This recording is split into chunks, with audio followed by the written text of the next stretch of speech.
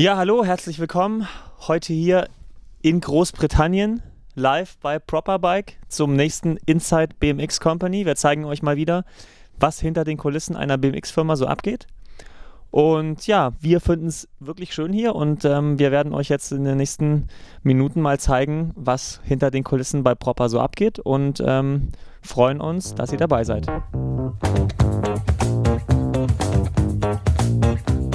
I'm uh, Carlo Griggs and I'm the owner of Proper. Yeah, I started riding in, um, I guess it was about 1980, around that point, and then uh, rode contests in 83 and competed, I guess, all over the world up till 2001 where I had an accident which I had two years where I couldn't feel my leg and the company grew from there because I was sat in the office on the computer. So. Um, we did just frames. First of all, it was just frames, and then we moved into uh, we did frame bars, and then uh, obviously the cassette hub, which we invented the design for every cassette hub that's made now has our shim bearing design in it. Um, well, it's actually we was uh, in our office one day and we came up with a load of names bef- between the employees, and um, one of the guys said "proper sounds good," so that was it. The name stuck with that. Well, I think BMX was building up then. It wasn't the market it is today. It's a lot bigger now than what it was ten years ago. Yeah. Um, and there wasn't so many brands there, so it was kind of easier to do BMX back then. You know, for the marketplace. You know, we was rim wise, there was probably five manufacturers. You know, the, the market is different to what it used to be. There's a, there's too many brands out there, uh, but you know, we have we all we all ride and we all design as well. We all use, you know, we can all use CAD drawing stuff here. Yeah. We can develop products really quickly, while a lot of the other companies can't. Um, we have some new stuff coming, but we we're keeping it quiet for the moment. We have, uh, yeah, we have some bits and pieces coming.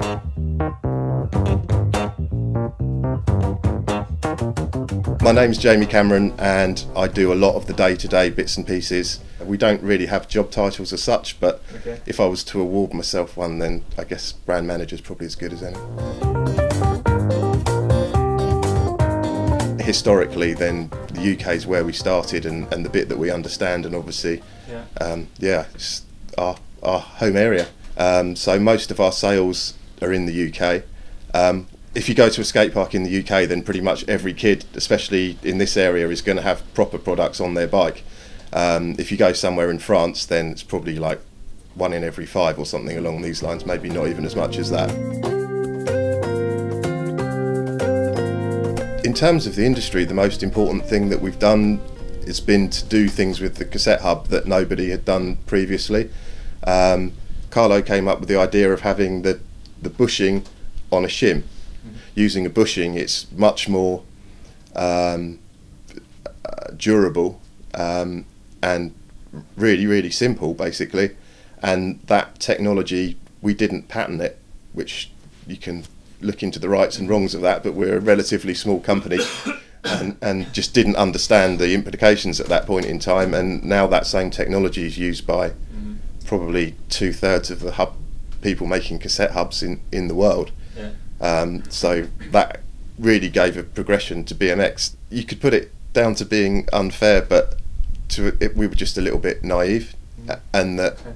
I don't know if Ben touched on this at all, but he's got a new design for a cassette hub, which we think is going to push things forward again because it's another new concept which on the face of it we've only got one working prototype at the moment um, which we've had machined in the UK to avoid all these types of things and we're, we're at the point now where we're getting patents for that and then that will go to Taiwan so we've made a mistake learnt from the Okay. mistake and hopefully going forwards if we come up with something that's going to be progressive for BMX.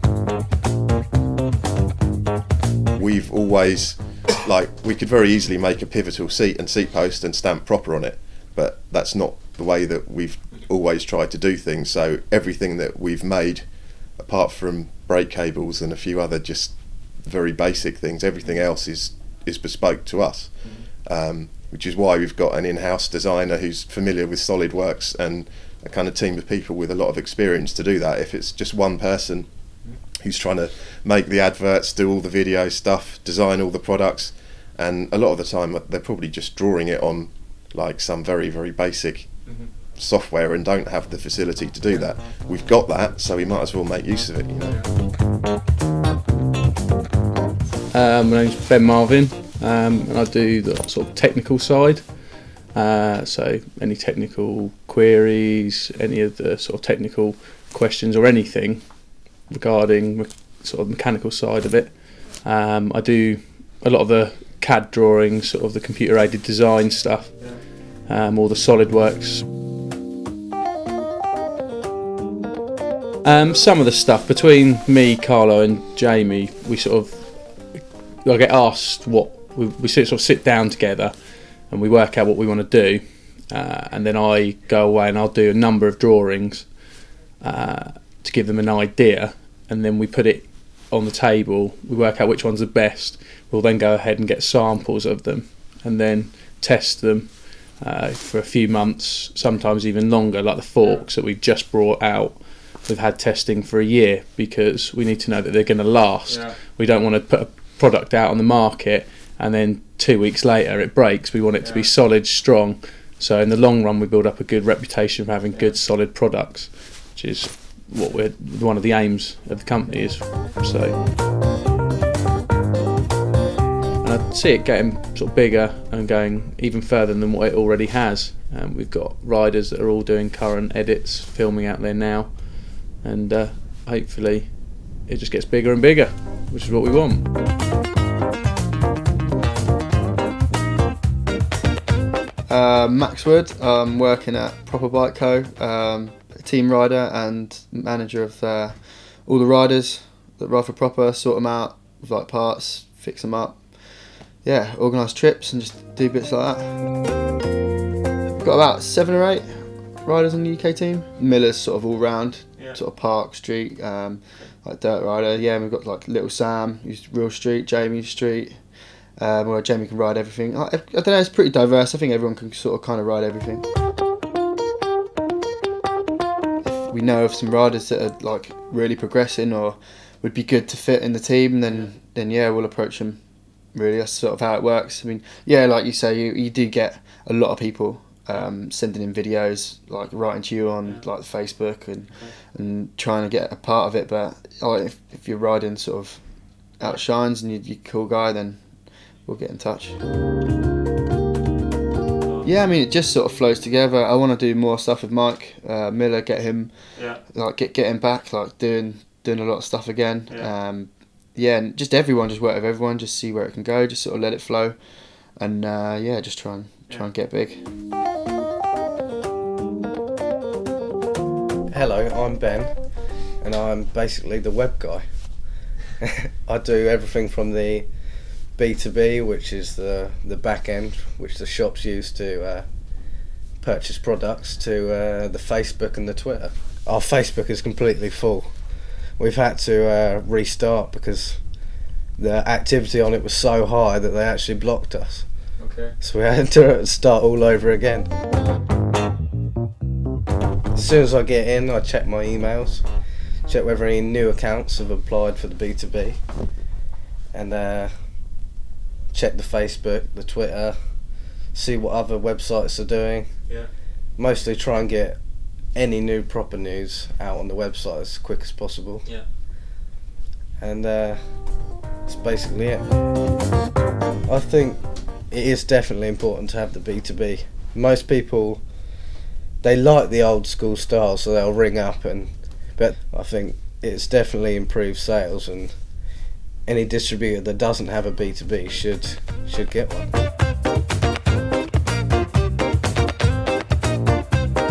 Yeah, I'm John Playford, and my job at Pop Bikes is just um, sales and sorting out the warehouse. And hopefully, I've got a role coming up from working in America for Proper as well. So hopefully next year. And, um, I've worked at Proper now for eight years, Okay.